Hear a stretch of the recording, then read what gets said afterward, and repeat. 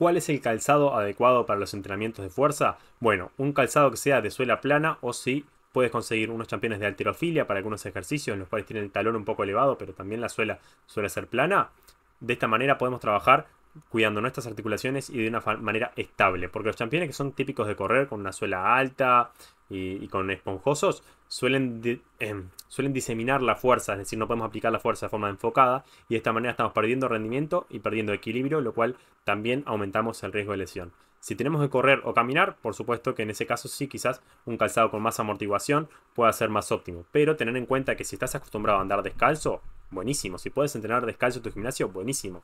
Porque de esta manera trabajamos con mucha fortaleza nuestro pie y de esta manera sería lo más saludable. Pero caminar descalzo no es para cualquiera, necesita su progresión o utilizar también un calzado minimalista que permita mucho movimiento en nuestros dedos y sensibilidad de nuestro pie con el piso. Y de esta manera vamos a estar trabajando de forma muy óptima, de forma adecuada para nuestro sistema nervioso y con mucho equilibrio y mucha propiocepción, es decir, mucha capacidad de movernos en el entorno de forma adecuada pero para poder trabajar con un calzado minimalista o descalzo debes llevar una progresión que debe ser hecha en el tiempo. La mayoría de personas no está acostumbrada a esa progresión, por lo cual respetar el hecho de utilizar un campeón plano o de altrofilia para fuerza y un campeón con buena amortiguación para correr, trotar o caminar sería adecuado. Cualquier molestia que sientas a nivel de columna, cadera, tobillo o rodilla, házmelo saber por favor para quizás analizar el calzado que estés utilizando y ver si sería el adecuado para tus entrenamientos. También recuerda mirar que la suela esté óptima y que esté en buenas condiciones, porque quizás el campeón se ve por fuera en buenas condiciones, pero la suela está desgastada y esto puede aumentar muchísimo